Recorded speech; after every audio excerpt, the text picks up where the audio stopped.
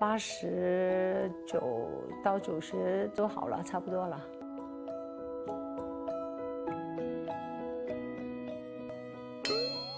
哇，那么深奥的问题啊！我那我觉得他也九十吧。我们把你和宝贝的生命值做了一个量化的进度条。我的手是不是很长？哇，这是什么呀？这就是你的预期生命值，因为你是在三十七岁的时候生的楚儿，所以他的生命是从你的三十七岁开始的。对，然后你们一起度过的时间，我们现在是用黄色的贴纸标明的。嗯，有了楚儿之后，给你带来了哪些快乐呢？太多了啊！这是真的是从，呃，怀孕不要有一个有一年没计算下去，从怀孕那天开始，其实已经。死了干嘛了我？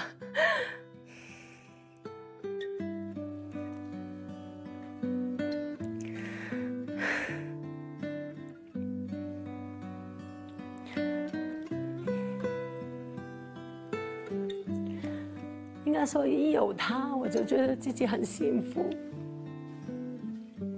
好像什么都可以有多一个人跟我分担的那种感觉。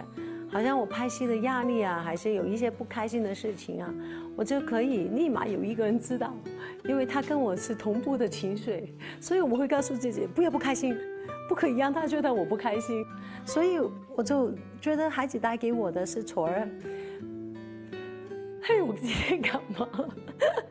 错儿给我的感觉就是太可爱了。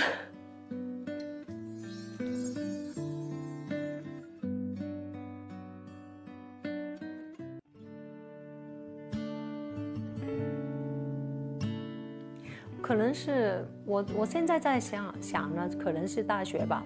现在我们的便利贴一条代表一年，你可以在上边把你觉得他们会会留在你身边的时间，可以撕掉他们本来的进度条，贴上你们相同的颜色，代表你们还能在一起的时间。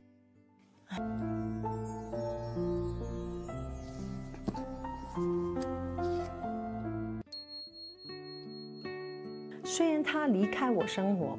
独自生活，可是呢，也不代表他就是我不能参与他生命里面的其他的时光。其实多少年，直到父母死之前，他都可以去能分担他的事情，就是给一点意见也好，陪他走一段路也好。我觉得父母肯定愿意去等候你什么时候需要我，我都会在的。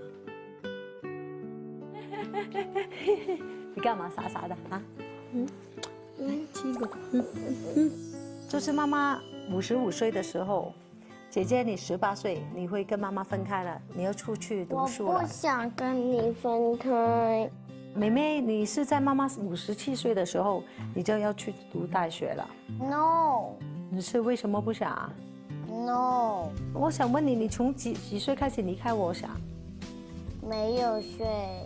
没有睡啊？永远？但是妈妈到这里也要离开你啊！